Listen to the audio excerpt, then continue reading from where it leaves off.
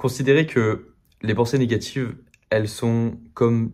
tous les éléments vivants sur cette planète, leur but, c'est la survie. Et la manière de survivre d'une pensée négative, c'est de revenir encore et encore et encore dans notre esprit et de faire partie de notre identité. Parce que si une pensée négative arrive à intégrer notre identité, elle va vivre à jamais. Elle va vivre jusqu'à la fin de notre vie parce qu'on va continuer de répéter je suis une personne euh, ci, je suis une personne ça, et euh, un jour une personne a dit de moi que j'étais ci, donc je suis ça si une émotion ou une pensée négative arrive à atteindre ce, but, de faire partie de notre identité, alors elle a réussi son, son but, elle a réussi à survivre. Et si à l'inverse, lorsqu'une pensée négative arrive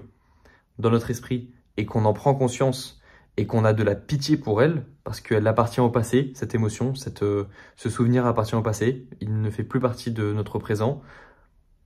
on peut juste avoir de la pitié pour cette pensée. Ah, tu la regardes et puis tu te dis, euh, ok, je vois que tu essaies de survivre, je vois que tu essayes de, de refaire surface, mais tu appartiens au passé. Je, tu ne fais plus partie de ma vie. Cette, euh, tu peux dire ça, cette pensée, puisque maintenant tu arrives à contrôler tes pensées, ou, non pas les contrôler, mais à les, à les observer lorsqu'elles arrivent. Ok? Je pense que ça c'est euh, une bonne façon de voir les choses. Et euh, au lieu de considérer chaque pensée, ce que beaucoup de personnes font, et de remettre en question ce qu'elles, même des plans ou des, des ambitions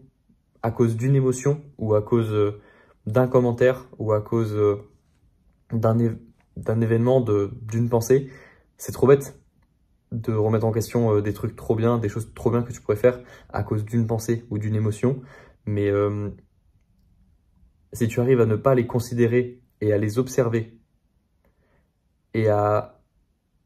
avoir de la pitié pour tes pensées négatives au lieu de les considérer toutes comme vraies, puisque tu les ressens et tu peux les ressentir, mais tu peux aussi les observer. Si tu arrives à avoir, à faire ce petit truc, ce petit, euh, avoir ce petit déclic que j'essaie de te faire avoir depuis quelques minutes, bah, je pense que tu les vivras mieux et tu arrêteras de